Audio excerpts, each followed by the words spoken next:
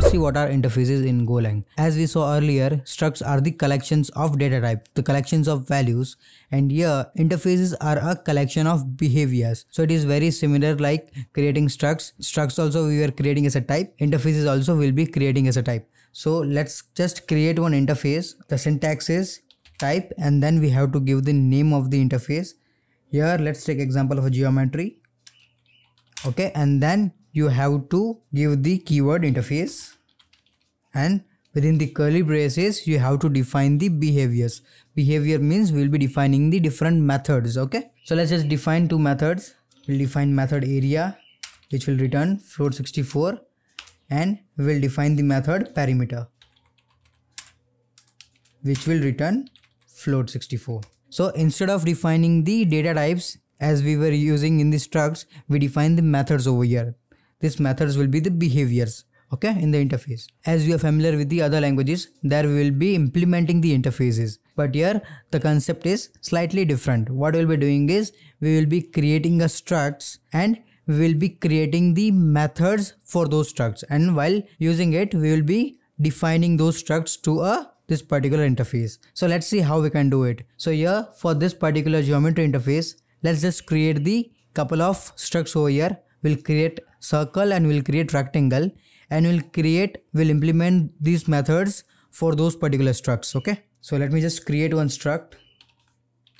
Type circle which is of struct. And here inside this circle struct we will define the properties. So circle will be having the property radius of float 64 and let's create one more struct. Type rectangle and here it will be having two properties height and width. So let's just give height and width.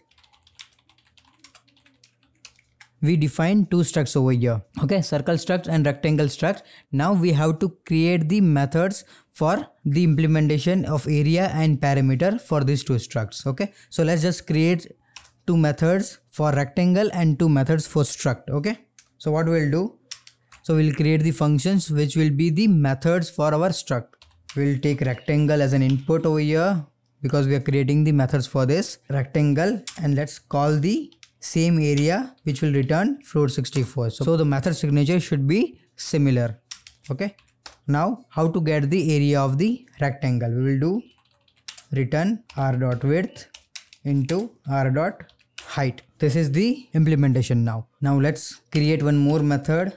Function r of rectangle and this is the perimeter which will return float 64 and perimeter would be 2 into r dot width 2 into r dot width plus 2 into r dot height okay? So this will return the perimeter of the rectangle.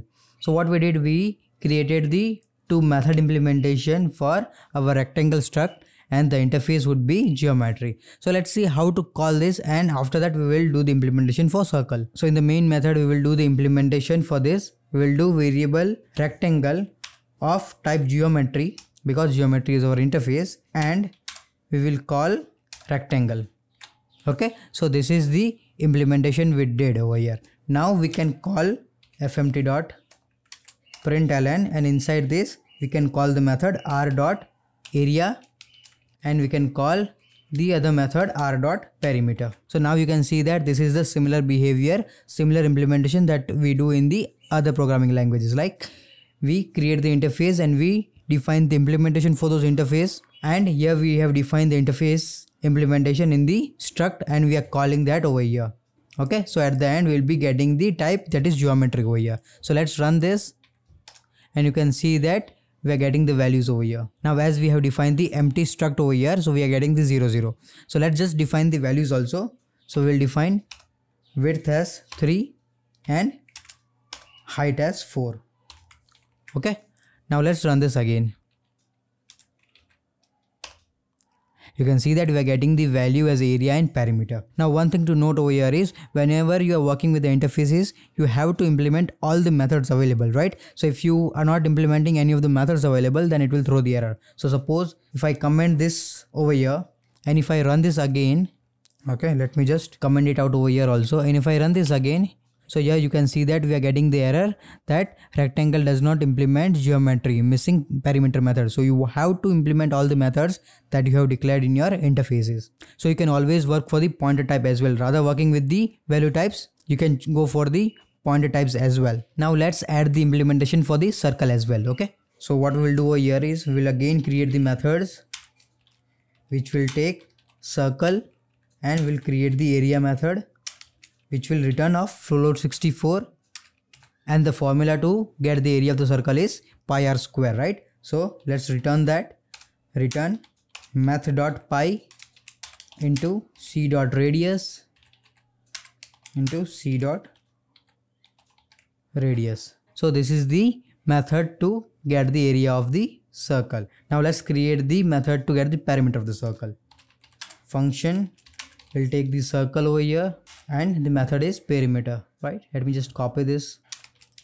And the formula to get the perimeter of the circle is 2 pi r. So let's do 2 into math dot pi into c dot radius. Now we have implemented the two methods for circle as well. Now let's go ahead and check how to call that as well okay? What we'll do variable c for geometry equals to circle and here we will give the radius as 5 and we will call these two methods over here okay? We'll just call c dot area and we will call c dot perimeter okay? And let's run this again.